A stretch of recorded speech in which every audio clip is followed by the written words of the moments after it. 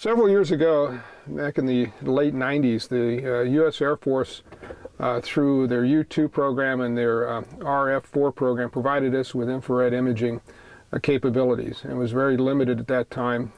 Uh, when the Air Force and, and then the Air Guard uh, eliminated that program and left the department without an infrared imaging program. The original parameters or mission parameters that we laid out were to provide that kind of service on a 24-7 throughout fire season. The aircraft system was designed from the bottom up. When we got together with our committee and decided what needs to be in the aircraft, we brought in people from the field, the end users, the, the mappers on the fire ground, and asked them what they needed and how they needed it. The initial goals of the project were to have a rapid simulation of fire perimeter data and immediate display and distribution of that data down to the ground from the aircraft. The King Air 200 allows us to provide uh, services up and down the state uh, within a, a, short period of time. With a 300 plus uh, miles per hour speed, we can provide uh, infrared services to two major incidences uh, throughout the state, one in the north and one in the south. The uh, aircraft has been modified structurally to extended by uh, 37 inches to provide us an ability to put uh, six cameras into the aircraft. Uh, one of them is a, a video digital camera and the others are, are near infrared cameras. There's five additional near infrared cameras. The system actually has six sensors in it which cover many bands of visible light all the way up into the very long wave thermal infrared band. We're here at the user console in the King Air, and this user console is designed to be the data acquisition point, platform, and operator's console, as well as the interpretive station for the actual data that's being collected by the thermal camera. This display is, is demonstrating the thermal camera coming live through the system. And along the side here, we see the barcoded attitude and GPS data being collected by the aircraft and collated and mingled into the photos here. So at any point in time, we can freeze an image and we can know exactly where we are in latitude and longitude. Many map resources here on the screen that allow us to have immediate access to the entire state's data of GPS data tied to the topo maps.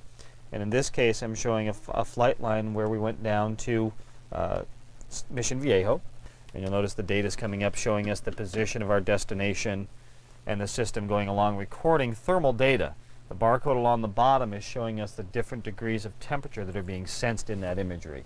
And it's set up to accommodate uh, very wide ranges of data. From the time we're over the incident, we can take our pictures, take our videotapes, create a perimeter of the fire, and within a matter of minutes, we can have it downloaded down to the FTP site realistic terms, we can have a perimeter of this fire in 30 minutes or less from the time that we get over the incident.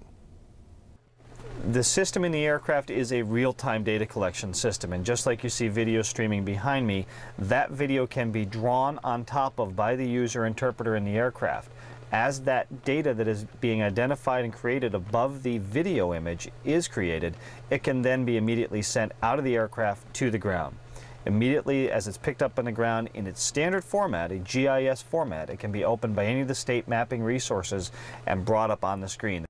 None of the data needs to be cut, pasted, changed in formats, and handed off to many different computer users.